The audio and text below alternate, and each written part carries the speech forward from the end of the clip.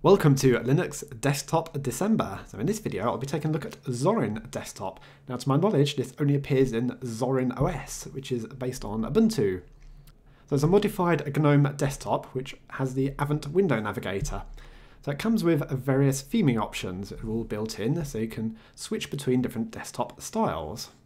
It's quite a unique feature that one, there's not many Linux desktops with that option. The default styling option with Zorin is a Windows style, but I've gone for the Unity style here because that's a style I quite like. Just start with terminal, I want to see what the memory usage is before we get too far into the system. So free -m, we're using a whopping 900 meg of RAM already. Well, it's not exactly a lightweight distro, but uh, I'm, I'm not reviewing the distro itself, but it is Zorin OS Ultimate and it is the best part of 4 gig in size. Let's focus on this theme switcher because that's a party piece of this distro. We'll notice here on the Unity view I have the option of searching by typing for the application. It's reasonably responsive. So this is the default styling. This is a Windows 7 styled look. Again, on the application launch, you have the find by typing. Then we've got this style, which is kind of like Windows XP, the currently open applications are more of a full size view here. You've got the text and the icon. This is more of a GNOME layout of the activities, and then you've got different virtual desktops. What do we call this style then?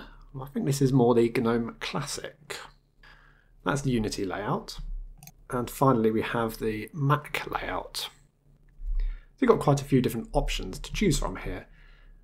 By the way, you only get six different desktop types with the Zorin OS Ultimate. The basic one only has three desktop types.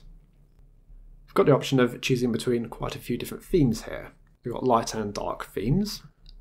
I quite like this colouring, but uh, I think for being kinder on everyone's eyes, I'll take the lighter colour. Probably be a bit easier to see on this YouTube video. If it was my choice for the permanent operating system, I might have taken the darker background. There's different options there on the panel styling. So it's quite a different selection here. So we've got a time, date and calendar there. We've got a combined menu for volume control, network, control panel and shutdown.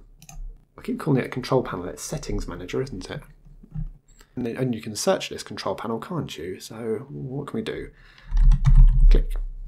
Ah, yes, mouse and touchpad. Yeah, take me to the correct area.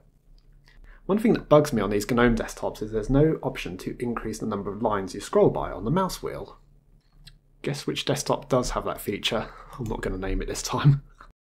The default file manager is Nautilus, and I've expressed my displeasure about Nautilus many times in the past. Let's go across to open the video. Again, I can't really play much of it. Whoa, that looks a terrible place, doesn't it? There we go. It's a little bit better. Just because I'm running in a virtual machine and it's not really keeping up very well. So the interface doesn't look too bad of Totem Music Player in this case.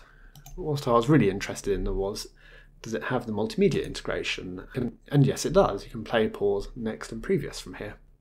Now, right clicking on the browser application, you've got the option of opening a new window or new incognito. Perfect. Let's do some private browsing.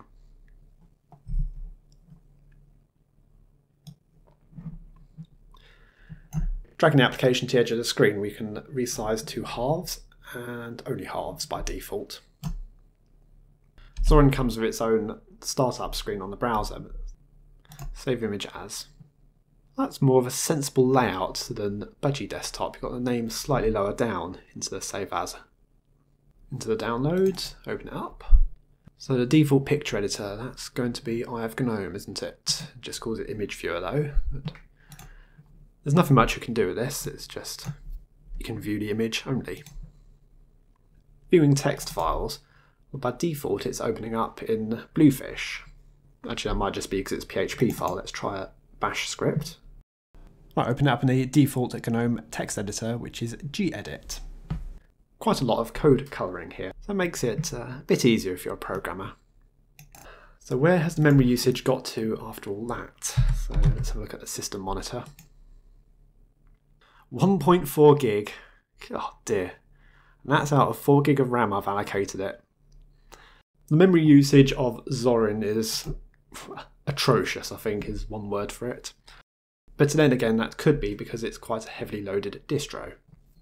That was a look at the Zorin desktop. Thanks for watching. See you all later.